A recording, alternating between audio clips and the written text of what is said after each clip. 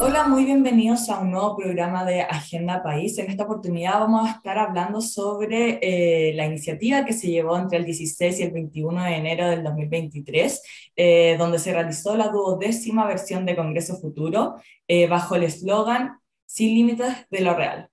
En esta oportunidad se promovió el intercambio de ideas, de pensamiento y participaron distintos expertos, científicos, especialistas que hablaron sobre temas relevantes para el desarrollo. En esta oportunidad me encuentro con Cintia Soto, quien es directora ejecutiva de la Fundación BTR, una de eh, las entidades organizadoras de Congreso Futuro. Muy bienvenida, Cintia, y gracias por estar con nosotros. Hola, Bárbara, muchas gracias por esta invitación. Encantada de poder hablar un poco más de esta iniciativa tan increíble como, que, como el Congreso Futuro. Bueno, para comenzar y ya entrar en el tema, me gustaría preguntarte, Cintia, eh, ¿cuál crees tú que es la importancia de impulsar estas iniciativas para apoyar la divulgación científica y eh, ampliar el conocimiento sobre temas relevantes como son la sustentabilidad, el metaverso, la tecnología, eh, temas que están muy, muy en boca hoy en día?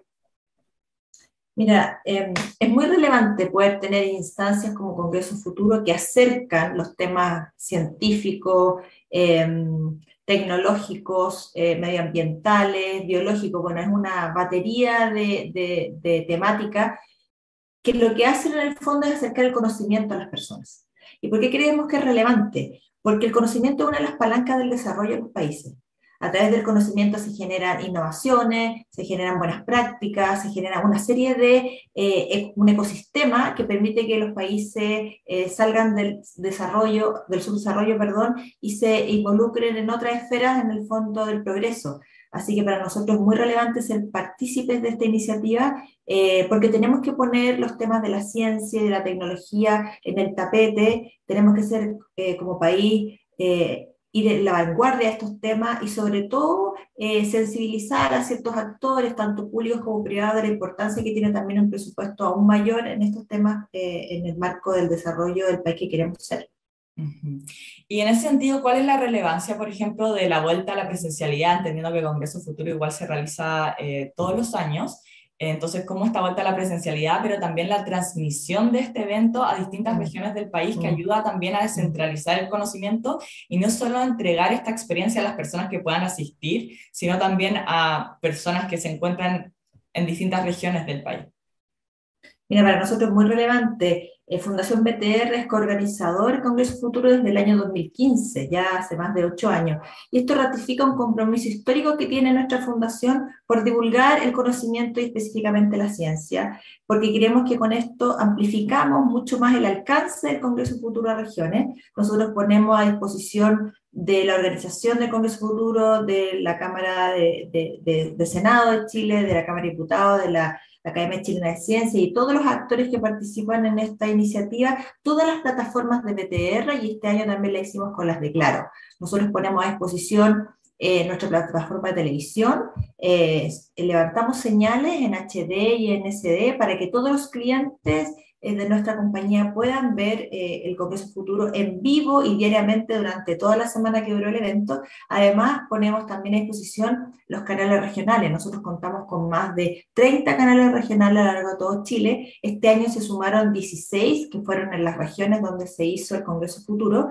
Eh, y ahí hay un tema también relevante para nosotros que tiene que ver con la descentralización de la información y el conocimiento. Es súper relevante en este país que tan largo y extenso, ¿no? Como es el nuestro, que todas las regiones puedan tener en sus localidades eh, expertos que conversaran con expertos locales. Ese es la, el círculo virtuoso que nosotros creemos que se da. O sea, viene un speaker eh, de Estados Unidos, de Asia o de, otro, continente, específicamente, por ejemplo, hablar de cambio climático, y va a la región de Antofagasta y se encuentra con los científicos y los académicos que trabajan en este tema y pueden localizar la información y el conocimiento, y eso para nosotros es muy relevante. O sea, este año tuvimos una plataforma completa de televisión puesta al servicio, tanto a nivel nacional como a nivel local, además de las plataformas de streaming, además de las plataformas de redes sociales, Instagram, eh, principalmente Facebook. O sea, creemos que con este aporte eh, BTR y Claro logran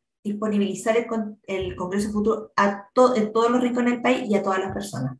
En tu respuesta tú mencionaste distintos actores que formaron parte y hicieron posible eh, eh, hacer Congreso Futuro este año y en ese sentido me gustaría preguntarte cuál crees que es la relevancia que tienen como estas alianzas donde participan eh, entidades públicas, entidades privadas, fundaciones, organizaciones, sociedad civil, universidades para esto que conversamos de la descentralización. Al final no solamente un propósito de un actor, sino que se necesitan varios.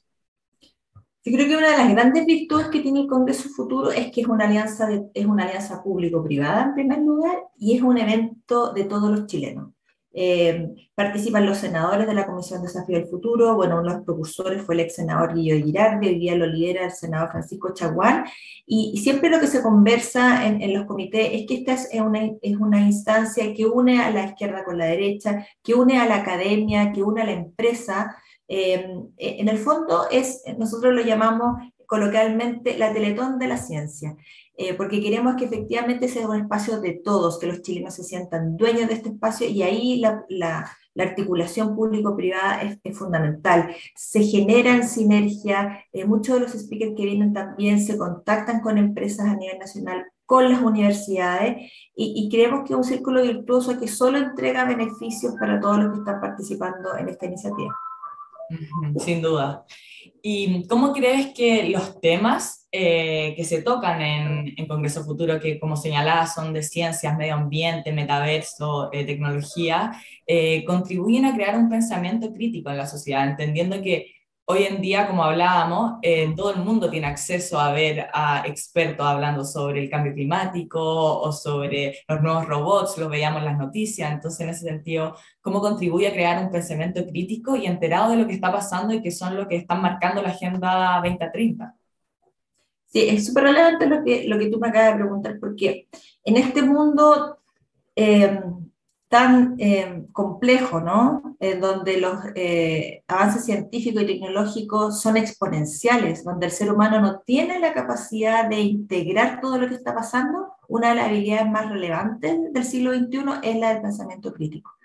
Lo que esperamos con Congreso Futuro es, primero, hacer que las personas reflexionen eh, sobre las temáticas más relevantes, sobre lo que está influyendo hoy día en el mundo y también lo que va a influir en el mediano y, en el mediano y largo plazo.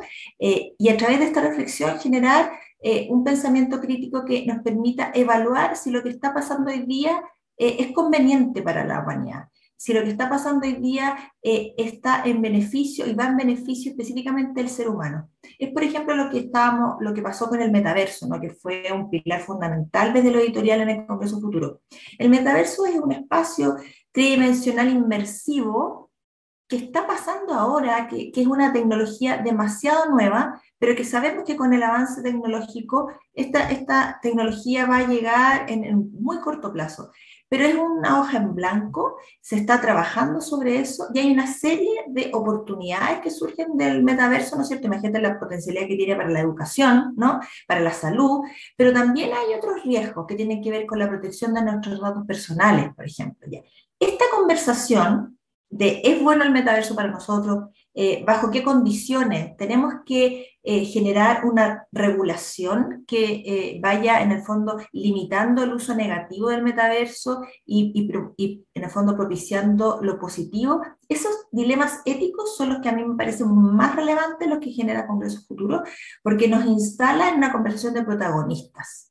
Nosotros tenemos que ser protagonistas de lo que queremos vivir y que la tecnología más bien sea una herramienta que vaya en beneficio de la humanidad. Y, esa, y esos dilemas éticos son efectivamente los que, van generando, que se van generando a raíz del pensamiento crítico. Entonces, es muy relevante, es lo que esperamos que pase.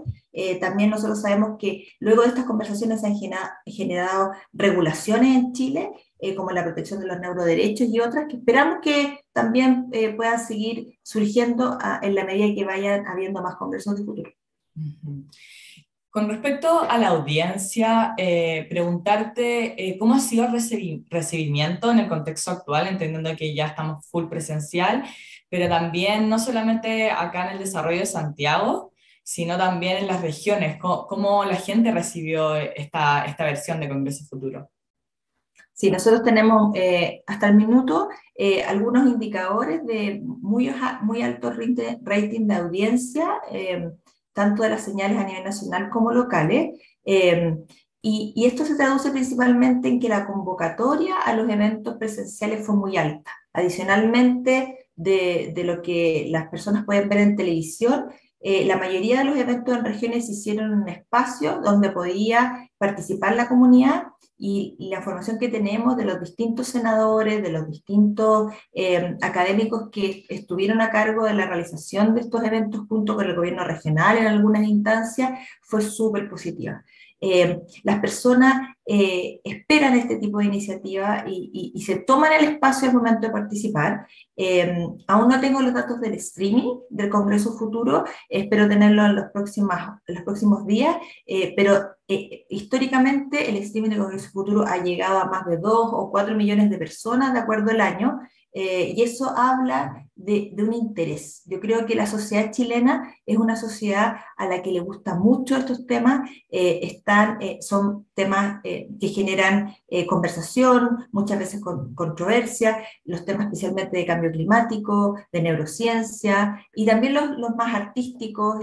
tuvimos a Chomsky, por ejemplo, este, en, esta, en esta versión, y lo que esperamos en el Congreso Futuro es ser un espacio que de dé lugar a todas las, eh, a todas las artes, a todas las ciencias, eh, incluyendo obviamente las ciencias sociales, y también que sea un espacio bien diverso, tanto de los, de los eh, entrevistados que vienen de, distintas partes del mundo, como también poner su cuota de género para que exista un número importante de mujeres también invitadas a, a exponer. Sin duda ese es un punto importante. A modo como más de conclusión, me gustaría preguntarte cuál crees que fueron los principales aprendizajes que se obtuvieron de esta versión de Congreso Futuro. Yo creo que uno de los principales aprendizajes, primero, es lo relevante que es la asociación público-privada. Este año el Congreso Futuro, como nunca, tuvo visibilidad en todos los medios, en todas las plataformas. Em, eh, llevamos a regiones y a canales regionales a la mayoría de los, de parlamentarios que participan de alguna otra eh, medida en comisiones relacionadas con o ciencia, medio ambiente, tecnología. Em, creo que la labor que ha desarrollado la Comisión Desafíos del Futuro del Senado ha sido una labor titánica y, muy digna de elogio. ¿Ya? Ellos han logrado convocar a, a, sus pares y también a la sociedad civil a través de la Academia Chilena de Ciencias. De todas las universidades participan universidades de, de la Asociación de Universidades Regionales, eh, y por otro lado, empresas también que apoyan esta iniciativa y distintas fundaciones. Nosotros en, en, BTR estamos muy orgullosos de ser parte de esta iniciativa y creo que el espacio que se nos ha dado para aportar en lo que sabemos hacer que tiene que ver con la masificación de, este, de, este, de esta iniciativa es algo muy relevante. Entonces, primero, la alianza público-privada. Segundo, que efectivamente este año, al volver a la presencialidad, eh, hayamos sido capaces de llevar a las 16 regiones del país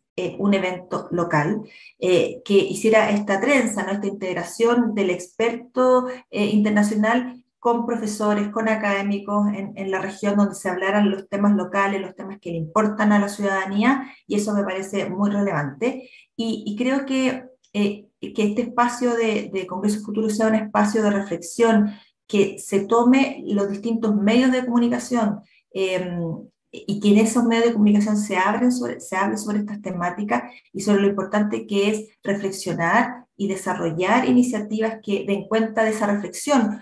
Seguramente nos vamos a demorar un par de años en ir decantando todo lo que está pasando, pero qué mayor relevancia tiene el que nos estemos preguntando si lo que está pasando hoy día nos hace bien como humanidad o nos pone en jaque. Y creo que esa conversación no se da en, en, en, en otras partes del mundo. Este congreso es, es, uno de los cuatro más importantes a nivel mundial. Eh, y lo más relevante también es que es completamente gratuito. Eso creo que es, es un logro de, de todos los organizadores de este evento eh, porque obviamente eso hace mucho más democrático el acceso a este, a este tipo de, de, de, eventos y de conocimiento, y eso es un orgullo para, para Chile, eh, y, en el fondo un orgullo también para Latinoamérica. Y por último, Cintia, eh, ¿cuál crees que son los desafíos que tienen por delante para las próximas versiones de Congreso Futuro? Mira, yo creo que estamos en un momento, en un, en un punto de inflexión como humanidad, en donde el, conocimiento se está generando a, una rapidez tan abismante que no estamos siendo capaces de parar, reflexionar y evaluar si esto que estamos haciendo tiene un sentido no para, para, nuestro, para la humanidad, en el fondo, para nuestro planeta. creo, sin temor a equivocarme, que los temas medioambientales son un tema, ¿ya? Eh, estamos viviendo en carne propia lo que hace cinco años atrás nos comentaban, ¿no es cierto?, los científicos sobre la, el impacto del cambio climático, el cambio de las temperaturas, la escasez de agua, las lluvias en, otro, en otros sectores del planeta, el tema de las migraciones, ¿no? Cómo este cambio climático va a forzar a que las, a que las poblaciones se muevan de, del Caribe hacia, hacia, el sur o hacia el norte. O sea, hay una temática no solo medioambiental, eh, sino que también social relacionada al cambio climático que me parece que va a ser cada vez más relevante y nos vamos a tener que poner eh, de acuerdo para ver cómo los, distintas, eh, los distintos actores del mundo, tanto público como privado, hacemos esfuerzos conscientes por lograr eh, ciertas disminuciones en, en, ciertos, por ejemplo, gases de efecto invernadero y cómo eso se va eh, alineando también con el modelo de desarrollo que tienen los países. Entonces, hay una conversación súper relevante ahí. Y lo otro que me parece relevante también es todo lo que tiene que ver con la inteligencia artificial. creo que es algo que, que, que nos supera, nos supera en entender mucho entendemos lo que es la caja, lo que, lo que hace eh, eh, el software, pero lo que hicimos hoy, este año con, Darwin, con traer a Darwin, ¿no es cierto?, y poder conversar con un científico que se murió hace más de 100 años, eh, poder a través de un algoritmo de inteligencia artificial reunir toda su, su, información, todo su trabajo y también de, lo, de, lo, de los científicos que lo siguieron en su pensamiento y hacerle preguntas de hoy día con contexto em, histórico también y que él contestara y que la inteligencia artificial te contestara como efectivamente lo está haciendo lo que hizo lo que hicimos con el proyecto Metadiálogo es algo que a mí me parece fascinante. Tenemos que eh, utilizar esa tecnología en beneficio, por ejemplo, de los estudiantes. Em, yo, no, yo no logro imaginarlo porque no lo viví en, en, carne propia, pero me imagino que los niños en un par de años más van a poder tener un tipo de educación mucho más inmersiva, utilizando todo lo que tiene que ver con el metaverso. Entonces, cómo van a aprender es de una manera totalmente distinta a lo que lo hicimos nosotros. Entonces, hay muchas oportunidades, pero también está el tema de la protección de nuestros datos personales. Estas plataformas van a tener cada vez más más nuestros datos, van a, van a poder seguir nuestro, nuestro consumo y van a poder intencionar eh, todo lo que tiene que ver con la publicidad y obviamente manejar información como ninguna otra institución o organización en el mundo lo había hecho. Y ahí creemos que tenemos que tomar esos temas, eh, conversar eh, y definir, definir marcos que nos hagan regular, entender mejor eh, y poder, eh, eh, en el fondo, utilizarlo de la mejor manera posible. Creo que para mí e, estas temáticas son las temáticas que deberían, en el fondo, también plantearse en, los siguientes congresos de futuro, porque son algo que está pasando ahora y que no tenemos todavía la suficiente capacidad ni para reflexionar ni para poder entender. Cintia, muchas gracias por estar con nosotros en este programa de Agenda País. Espero que nos volvamos a encontrar para seguir conversando sobre todos estos temas tan relevantes eh, e importantes para la sociedad. Muchas gracias por la invitación y encantada de participar nuevamente.